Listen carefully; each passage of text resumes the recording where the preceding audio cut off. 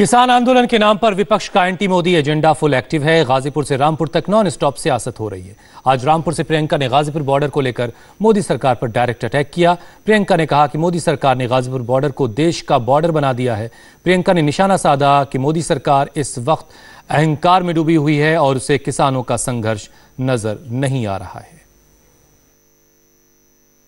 पूरी तरह से किसानों के साथ खड़े हैं। नवनीत जी के परिवार के साथ उन सब शहीद किसानों के साथ और उन सब किसानों के साथ जो आज भी इतने दिनों बाद, महीनों के संघर्ष के बाद दिल्ली के बॉर्डर पे बैठे हुए हैं। मैंने वहाँ भी कहा कि सबसे बड़ा जुल्म ये है कि हमारी सरकार, देश की जो सरकार है, वो पहचान नहीं रही है कि एक सच्चा संघर्ष है। इसमें कोई राजनीतिक साजिश नहीं है। पूरा देश इनके साथ है।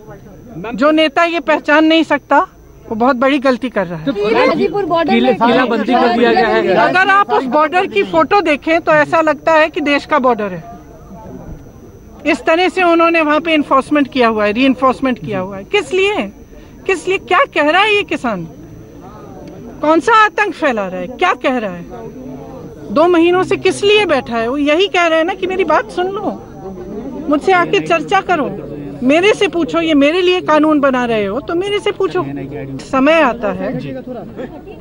एक समय आता है जब इंसान का अहंकार इतना बढ़ जाता है, खास तौर से सत्ताधारी इंसान का, कि वो जनता से उसका जुड़ाव टूट जाता है। यहाँ वक्त एक छोटे से ब्रेक का और ब्रेक के बाद इंडिया टीवी का खास कार्यक्रम, फकीर आज़म।